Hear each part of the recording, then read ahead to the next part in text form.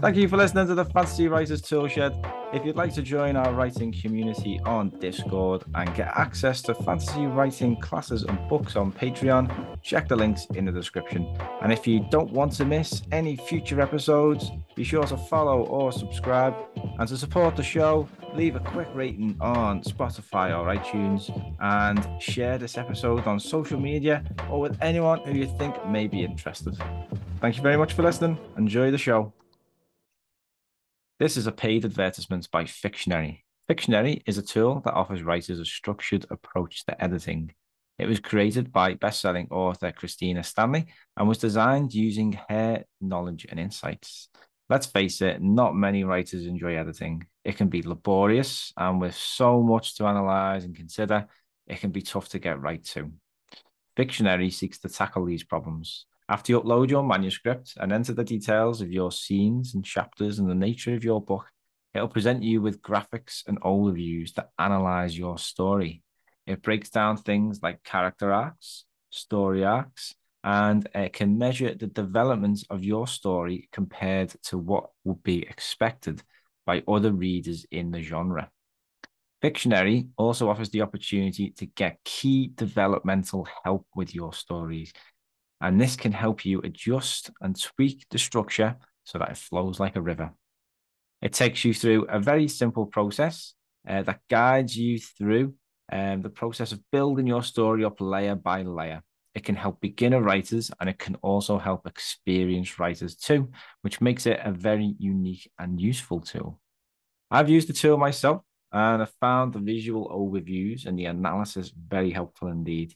Um, the more time you spend using it too, the more familiar you become with its analytical functions, and that will see you get the very, very best results. So if you're looking for more advanced support with your editing, but you don't quite have the budget for an editor, try Fictionary.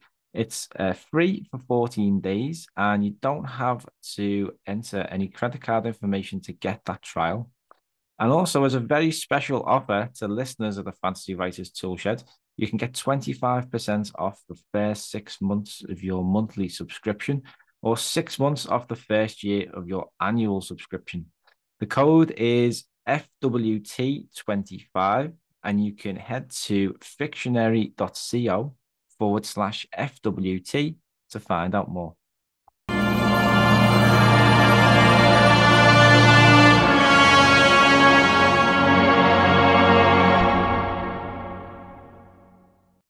Thank you for listening to the Fantasy Writers Toolshed. I'm your host, Richie Billing, and today I am delighted to be joined by the brilliant cartographers Zachary and Eric, also known as Tyndall Doodle and Dread Maps on Discord and Patreon.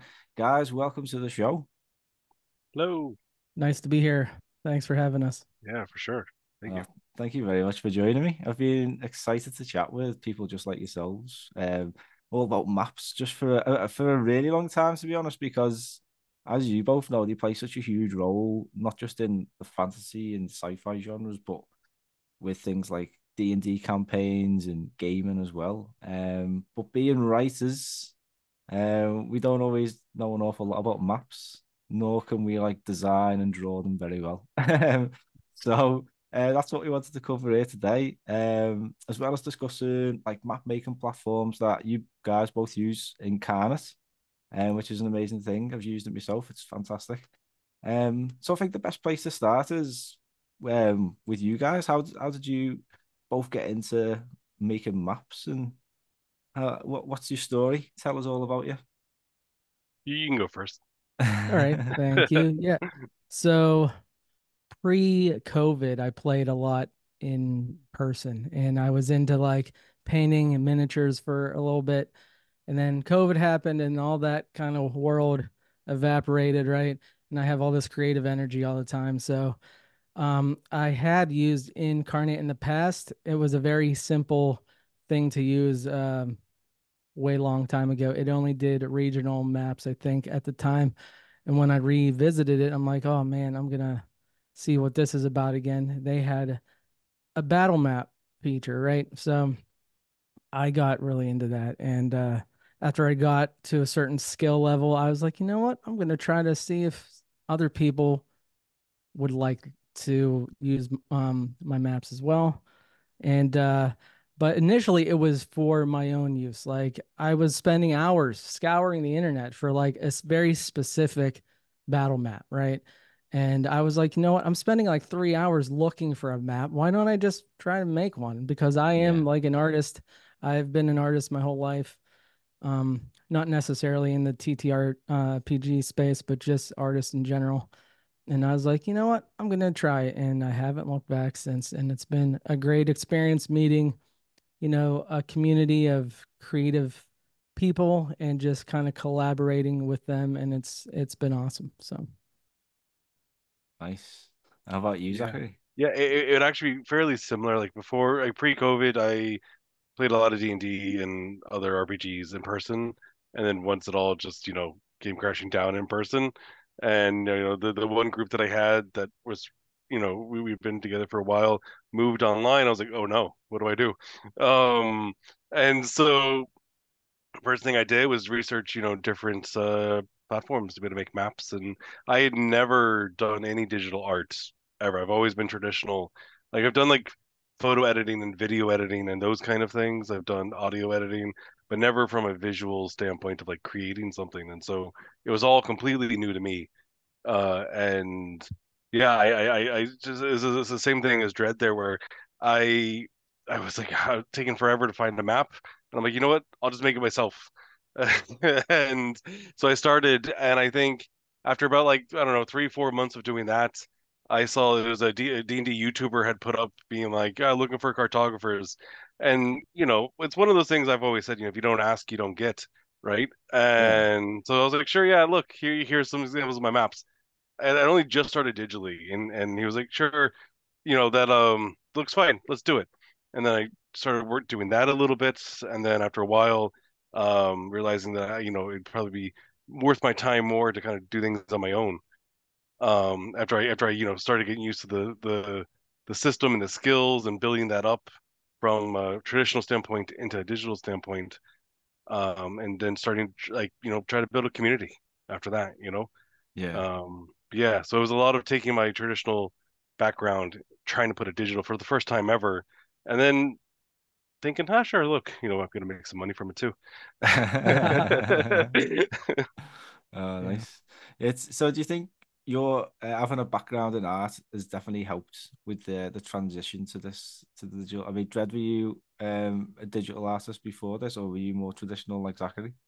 Um. So yeah, I've always dabbled on like you know web design in the '90s. I was like in my teens at the time, and then that came crashing down. The whole like web bubble or whatever it's called. Yeah, and uh, but I've always had that skill set, and I was always interested in digital art. Um, and yeah, it's definitely helped having an art background, right? Because you kind of understand pers- uh, perspective and lighting, and you know, you know, yeah. when I was younger, I sketched and drew a lot. You know, just pencil, paper, that sort of medium. So yeah, yeah, yeah. It's it's a weird transition, I think, from that to digital, but the concepts don't change. It's it you know, and it's helpful to know kind of like the roles loosely of yeah. like what how things are supposed to look in a sort of space that you're creating. And uh part of my uh brand is I try to bring like a lot of atmosphere and vibe into each map. So I think that's definitely helped uh with the background um that I have. So nice. Yeah, like, uh, yeah, like my, my approach definitely has been um, I, I I've always done a lot of watercolor and a lot of like acrylic painting and some oil painting and stuff, and I've uh, and then in my photography and film background, the, the, the level of detail that I would want, right? Like I'm always paying attention to lighting and the way the composition and where things are and all that kind of stuff. And so when I do my maps, it's very like meticulous in the sense of like I want the flooring to look real. I want the shadowing. If there's a bottle on a table. I want half of that bottle to be in shadow and half of it not. And I spend far too long. yes, you, you can go down that rabbit hole, huh? Right. Yeah, yeah, yeah. I, I, I, remember I had a friend of mine at the very beginning when I was making the maps digitally, and he was like, um, "At what point, you know, I, I um, you know, is it not worth it? You know, and so it's you know, there's always there's always that like the, the voice in the back of my head being like, how far is too far? But I think for me, like I think like like well, one really cool thing about like Dread's map that I love is like like you said, the vibe and the atmosphere. It's very bold and evocative. And mine is it's a lot more. It, it's not as bold and evocative, but it's a lot more kind of like as kind of more realistic, I guess. You know, uh, things are a bit smoother, and I like that we can use the same program and get very different vibes out of it. Um, and, and both of us spend you know the same amount of time doing it for two completely different looks. You know. Yeah. Yeah. Yeah.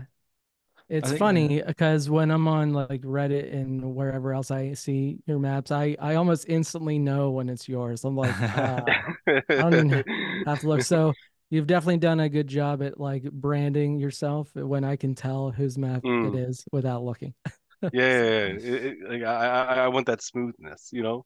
Um, but but the thing is, like, if I'm using a map, it's funny because like I like making that, but if I use a map as a DM, I often go for that bold evocative look. So there's a little bit of a you know there there's a map for every situation right? And uh Yeah. mine is definitely influenced on how i like to play um uh, ttrpgs uh and i just kind of make maps that i'm like this would be cool if i were to find this and want to use it. So that's exactly kind of the target i'm trying to aim at every time i create a map Yeah, yours yours have just this great pop factor to them, you know. Lovely. thanks It's a really good that. thing to keep in mind if you're making your own map. Is like, what would you want? So that's really helpful. So I think we've spoken a lot about Inkarnate. Um, but for anyone who doesn't know what it is, never heard of it, never used it before, uh, could one of you tell us what uh all about Inkarnate basically and what you can use it for? Yeah, it's. I mean, I, I I've used Photoshop in the past, and it, it to me is very similar to Photoshop. Yeah. Um, as far as like if you know Photoshop, you'll be kind of you know a few steps ahead going into Inkarnate. Um, it has that kind of you know like like digital art like kind of like platform built in. Um, but essentially, it's you know they they have a whole catalog of assets in multiple different styles, and so assets would be things you know like tables, chairs, bottles, uh, walls, all kinds of things, right? And so um, from the base level, you can just place them on a map.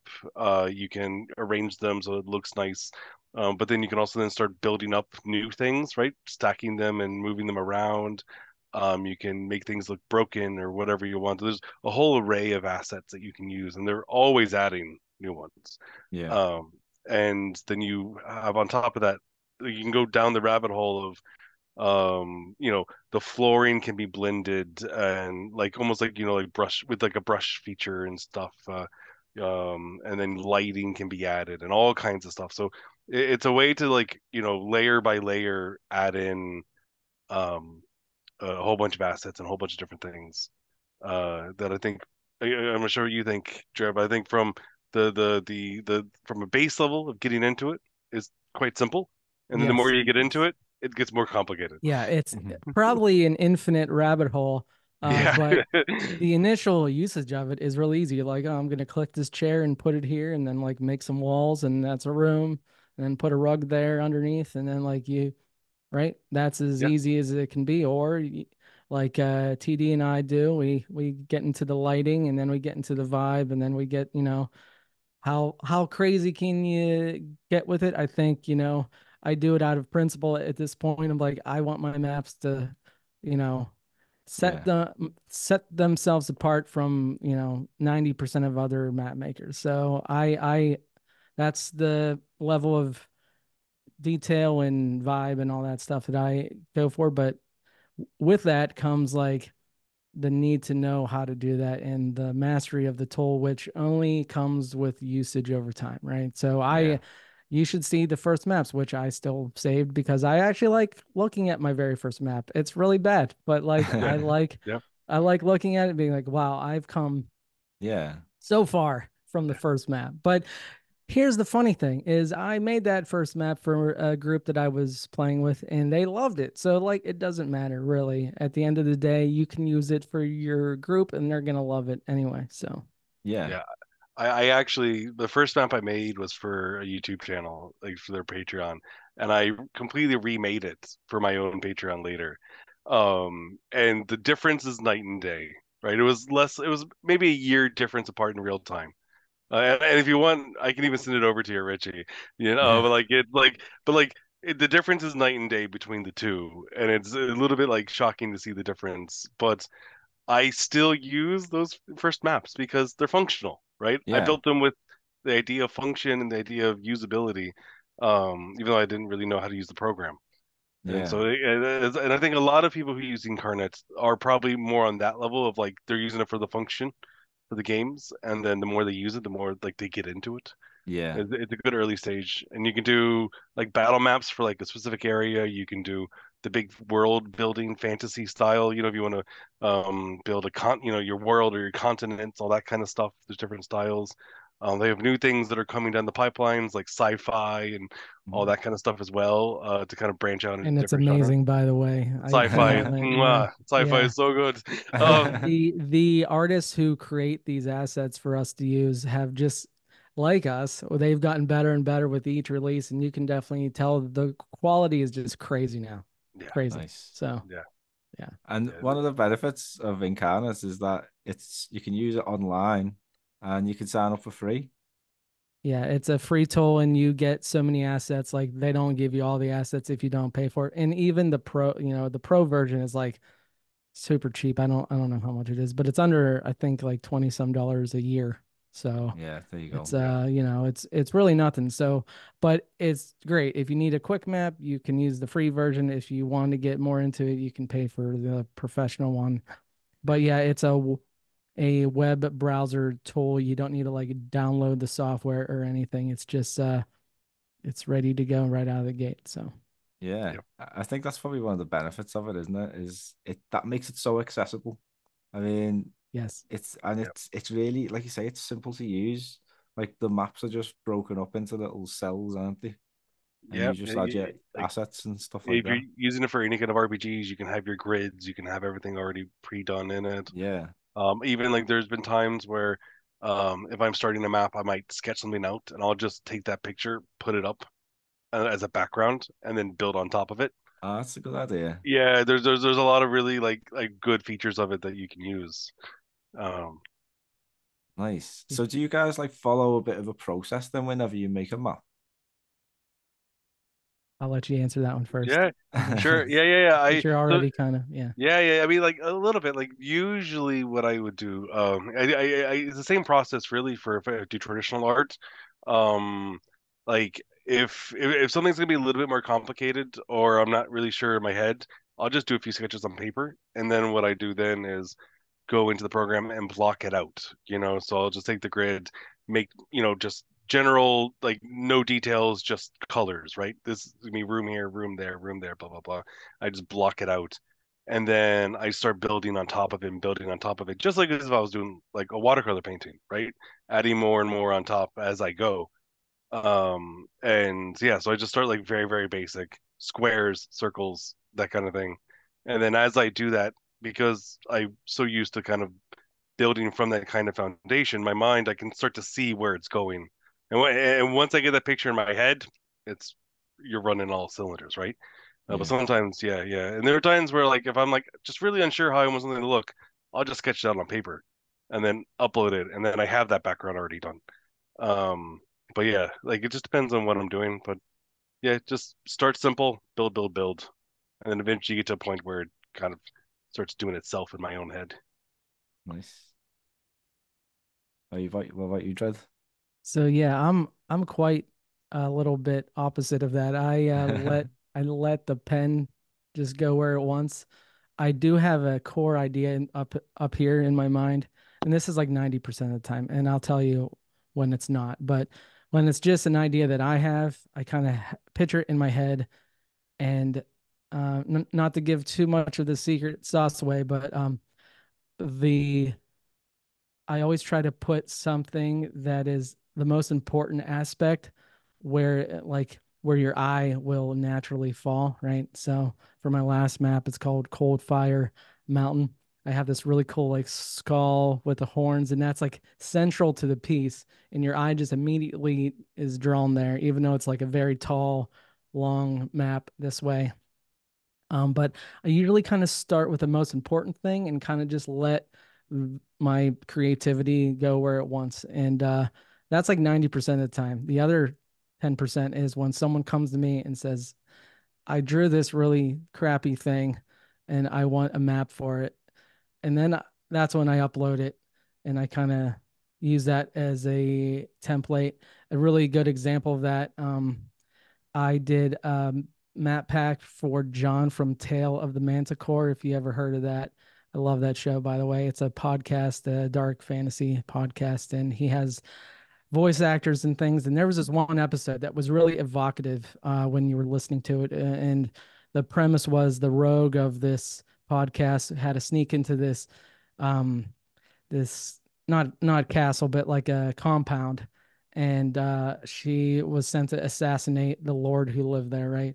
And as she's sneaking through the whole pre- uh, the premises, he's describing like the hallways and the rooms, and I'm like, oh man, I'm gonna make that. I'm gonna make that map. So I actually reached out to him, and I was like, I really want to make this map, and he's like, here's a simple sketch I did. I'm like, thank you, and you know, I just went from there. So nice. Yeah, most of the time though, it's just m- the pen hitting the paper and you know doing what it wants with like a very vague idea in mind. So it's nice. it's really cool to see though that uh we can both execute that very differently really yeah. well though too. Yeah, yeah, both, both, angles. Yeah. Yeah, just I mean, just like I, I, that's the thing. I think the program itself lends to the versatility of it, but I think it also shows that like you know the map making itself is an artistic process, and yeah. Everybody does it differently. You know, like I've always been in anything that I do, I'm a planner, right? I need to I need to like block it out and plan it and do everything else. And so like even if I'm doing traditional art, I'm gonna do some sketches and then I'll take a light box and then you know put it onto another sheet of paper and then go again and I'll have multiple layers of paper, you know, basically yeah. Going through and then in yeah. the end I then transferred with the light box onto watercolor paper. You know, like it's I'm so like everything is so meticulously planned out. And that's just yeah. my style. It's all I've always been and you know? and not to say that mine you know i i sometimes box myself in because i don't plan enough like, oh man i'm out of space over here i have to change my idea but yeah, yeah so there's, there's no right or wrong huh there's, there's no right or wrong you know right right yeah, it's, it's, just different it, oh so i think it also comes from the fact that i'm a musician i play the uh, drums and um currently and i have been for like 20 years uh, in several bands and the band I'm in now is kind of exploratory in the rock space. It kind of is reminiscent of like classic Santana or something like that, where we kind nice. of just explore uh, soundscapes and, and and create our songs very naturally that way without a plan really and we record everything listen back to it and then take the best pieces and then that becomes the song that's, that's kind of how i approach map making too i just kind of let nice. let uh let the energy kind of flow. Yeah. You know, so. I, I, it is it's a bit of a tangent. Is Santana now classic in the terms of like age? Or are you just being like by iconic? Because oh, because if Santana, it's by age, like now... I feel really old. like well, Santana. Um, I make that delineation because Santana now is nothing compared to like what he used to be in like mm. the olden oh. days where he was in Woodstock doing like oh, yeah. real yeah, yeah, the real rock music and not yeah, like the I, I forget like the the more pop Latin kind of things now. So I, I, I, I have memories of me as a teenager going to buy CDs of Santana. yeah, I mean Santana Metallica in one trip, you know, like it was. it's funny. My my wife this past Christmas bought me a record player, so I never had one. So I've been like re-experiencing all this like uh, you know, uh, discovery of old older music again, and it's really cool. So. Nice, Lovely. nice. So we mentioned a few um, a few times there, um, so in particular battle maps. So this is a phrase that people might not have heard of before. So to someone, Dread, do you want to explain what a battle map is and what yeah. are the benefits of having one? Because I use I map out all my battles because they are crazy scenes. God knows what the hell's going on. You've got to try and have an idea of where people are, what's going on, what's going to happen next. Yes, exactly. So, so, can you tell us all about it? Yeah, the difference between uh, a fantasy map and a battle map usually is that it's um it's tactical in a sense where like everyone can see the usable space and oftentimes you're you're moving your characters in such a way to either avoid detection or fight something or accomplish a goal in mind and um it's usually more zoomed in right than a classic like world map right so you can see like there's walls here and and hallways here and as you're you know exploring the space with your characters usually through rounds or however you delineate time. Um, you know, the enemies or the people that aren't you are kind of also moving around the map, and it allows everyone to envision in their minds the same space, right? And there's also a negative to that, right? Because when you do theater of the mind, which is a process where everyone just imagines the space, it it sometimes takes away from create uh, creative options because if if players don't see it on a visual map, they're not going to ask about it. Uh, so you kind of have to, uh, as a dungeon master, you kind of have to help them uh, not kind of limit their creative options, even though they're looking at an image, right? Like, oh, like top down maps for example might not show a chandelier all the time, but it might be there. So like the players can still ask, you know, is yeah. there a chandelier in this grand hall room? Because you know, who doesn't want to swing on a chandelier or do mm-hmm. something crazy with it, right? Yeah. So it's kind of things like that that uh, help in a tactical sense when you're moving through the imaginary space because it's represented and uh, players use um, uh, VTTs, which is virtual tabletops like Foundry or Roll20 or Owlbear or any number of them. There's a million of them now, but um, it helps everyone, you know, kind of kind of agree on what is happening at any given moment when you have a visual representation. So I don't know if that explains it, but yeah, I, yeah, I tried. Yeah. I, I, the only thing I would add to that as well is for accessibility. Um, I know, like with my group, right? Like um, like multiple members, you know, ADHD and those kind of things, and um, it helps keep attention, right? And they, and also some people are more visual and some people aren't. So for those people who need something visual to be able to understand what's happening or follow what's happening, or you know, even just keep attention, that's also yeah. really good. Um, and so like yeah, it, it's really good for the accessibility side as well.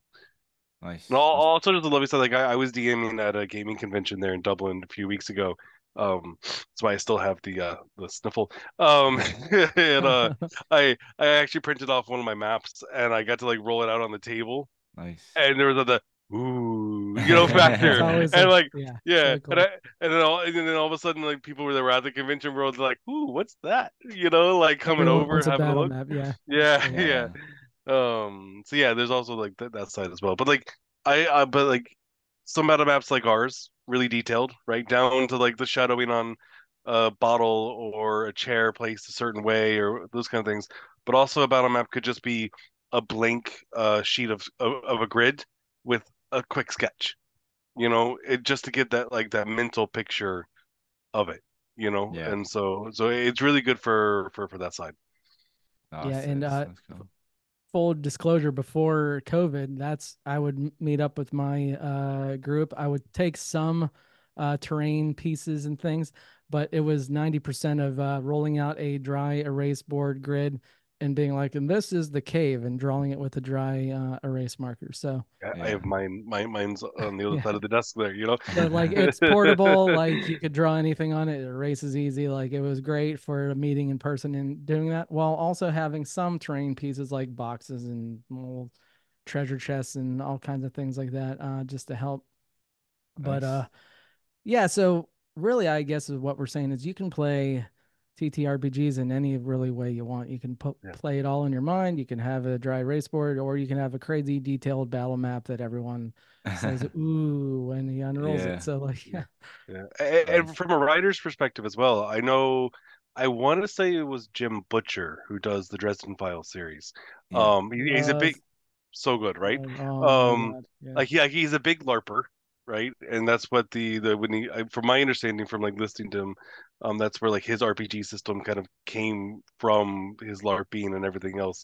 Um, and I know there's been a lot of talk about like, you know, the main character in there kind of leveling up throughout the books. Yeah. And, and, Totally. and, yeah, and, and yeah, like I love it. and, and 100% yeah, and like and there's been like kind of like talks in his like Q&As of him, you know, alluding to like, you know, almost like RPG like, you know, character sheet-esque leveling up. Yeah. Um, but then also I imagine with him because he's so big in the RPG scene, he larps a lot. When you listen to the descriptions of how things go, it's so close to like something you would see on like a battle map and something you would see in maps and stuff. There has to be a connection there, right? Like, yeah, Yeah. I would I would love to like either have him sit in or like run a game. Like yeah, it would yeah, just be amazing, right? And also Yeah. have James Marsters narrate Oh, yeah, uh, yeah, yeah, yeah, yeah, characters 100%. I don't Oh, know if yeah those so audiobooks, those yeah. audiobooks are just, mm, yeah, I I read the first one and then I switched over to audio and I never looked back because James Marsters is like crazy good and Yeah. made made that book really pop. You know, I I listen to them first and then I read them because Oh, nice. like Spike from Buffy, like how how would you not want him to tell you the secret of the world? Um, yeah, no, but like, but like, I know like he's talked about like as a writer, um, RPGs and stuff like that has helped him. His LARPing has helped him understand how people move, how people fight, how people do things, uh, how he when he plays role playing games, um, the encounters that they have in the role playing playing games help him as a writer Yeah. um and you know all those things would, would go together so yeah like there, there's definitely like good positives from a map perspective for even writers um and then we have people in a weekly uh kind of like uh, group that we have uh, through Inkarnate that are writers that come in and and what they're making is stuff for their books they're making uh, they're making battle maps uh, so that so they can visualize things uh, they're making the fantasy world maps for their books and stuff like that. Um, so we actually have writers that show up, you know, to, uh, you know, most weeks that are there. They're not cartographers. They're not, you know, trying to do things. Some of them have never even played D and D or any RPGs. They're in Inkarnate because they're a writer and it helps them write. Yeah. So- That's amazing. Yeah. So we, we've covered a few different types of maps. Is there when you're thinking about the design of a map, is there anything that you think is essential that anyone at home who, who's thinking about making a map that they should be putting in? So, like for example, a world map, you would expect some kinds of like rivers and mountains just because that's like the foundation of life. yeah. But um, it depends what you kind of world you're making, isn't it? If you're making like a desert world or whatever. So, what, what kind of things would you think about first? Hmm. I think for so if it's a world map, one of the basic things is think about um general geography, right?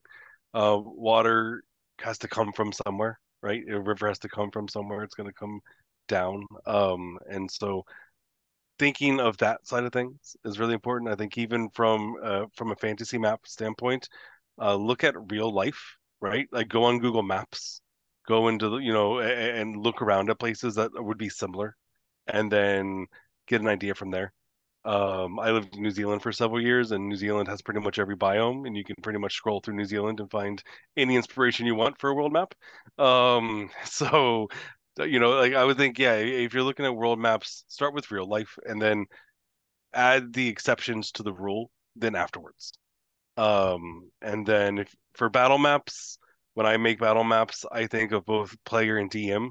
I want things for the DM to be able to have fun toys, fun areas, fun things to use. Also, I want things for the players to be able to use, um, and then have options within it that there can be more stuff. Like you were saying, Dread, if you can think about it, it can show up. You know, so have things that lead to that as well when you're making the map. And so, yeah, I, I think of like you know what, what would players like uh, what would DMs like using elevation, all that kind of stuff. Definitely, so, so some of the things that I think about. How about you? Yeah, so I can't really speak for world maps because I hardly ever create them, but from a battle map perspective, if it's outside and not inside a building, I'm always doing elevation changes, weird crevices, where you know, places where the PCs would love to like sneak or hide or like get an, an advantage of some kind or you know a disadvantage if that's the kind of map you're running um and like for example they have to go through a narrow pass and there's an ambush or whatever. So uh, i can always tell you know beginning Inkarnate users because that that's what is usually lacking. You know they have the foundations they got the trees and the path mm-hmm. and like the path through the woods but it's missing elevation and um even lighting can play a role uh when you create a map like that.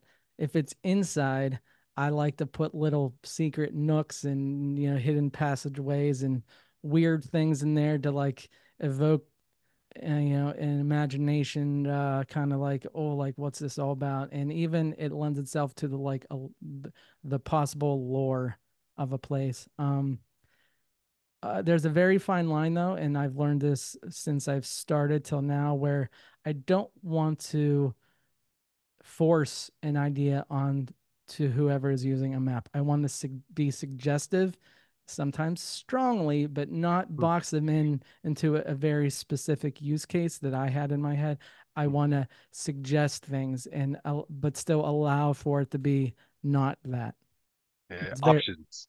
Options, yeah, and it's yeah. it's a very uh, it's taken me a while to understand that, uh, and I think that maybe just comes over time with uh, when we gain mastery over the tool that it kind of lends itself to that. So.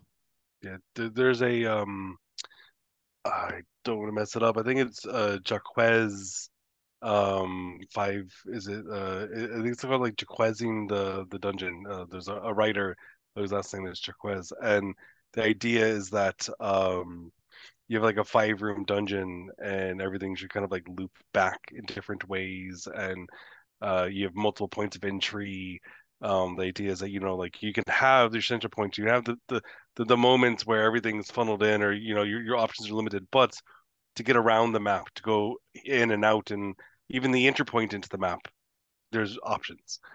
Um, and those might change as you play, you know. But right. when you build a map, you, you you build in those options. Nice. So like, nice. Yeah. Oh, it's been a really fantastic discussion so far. Um, I've got one more question for you both. What advice would you give anyone out there who is thinking about making a map for the first time? Dread, do you want to go first? Yeah, sure. I'll take this one. Um, I don't think there's really any rules to be honest. It really depends on what you're going to use it for or what you want other people to use it for. I have my own things that I follow because that's my ethos and what I believe a good battle uh, a battle map should be. But there's nothing wrong with just a regular old like tavern battle map. You know, there's nothing special about it. It's just a tavern.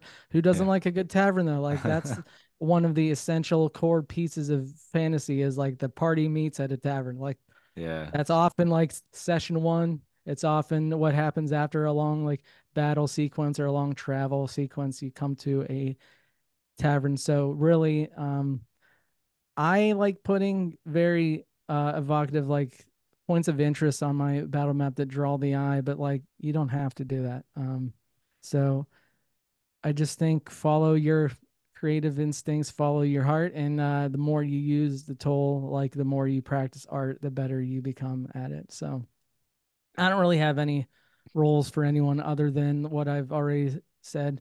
If you're making an outdoor map, try to put elevation in it, makes it more interesting if you want to get more advanced with the tool, adding shadows and you know other things like that really help uh, set mood and uh, evoke a certain vibe.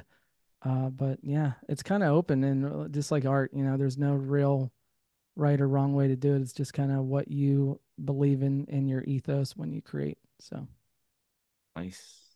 Yeah, like I think um, for for me, I would say um, if you're thinking about starting and you don't know how to do it, uh, just do it, right? Just sit down, do something for the first time. I've always said the only bad art is the art you don't make. And, you know, practice makes progress, right? I don't think there's ever yeah. anything perfect, right? I think the more you practice something, the better you get. Um, and so make something that you like, make something for you, even if it's for somebody else, right? If it's for a game or something else, make something that you like. Because if you like what you're making, then the end product's going to be better. Um, and don't if you if it's the first time doing it, don't expect perfection because no one's perfect. You know, because the next time you make it, you have more knowledge, you'll be better. Next time you make it, it'll be better. And you learn every time. So That's fantastic just- advice. Yeah, and just full disclosure, there's still mistakes and things that I don't like in every map. It's just like oh yeah, yeah. they, the the blast radius of those things have shrunken, right? but they're still there, and I'm like, man. But sometimes you you just have to do uh, the attrition game and be like, you know, I'm I'm gonna just move on because to fix that at this point is way more work than it's worth, and no one's gonna notice but me. So Yeah. Yeah. That's the uh, the true master in you there. It- it- what, what to say? You want it um you, you you you want it done not perfect. yeah, exactly. oh, nice. Yeah, Um, I've I, That's oh, so good. I'm sorry. Go ahead. Go on, Jeff. Oh, I was just gonna say I I've actually had to relearn that lesson for writing because I'm trying to get into like the writing aspect of the genre now where I'm creating like one shots and adventures and things like that. And Nice. I've been sitting on this one for like a year and I'm just like, you know what?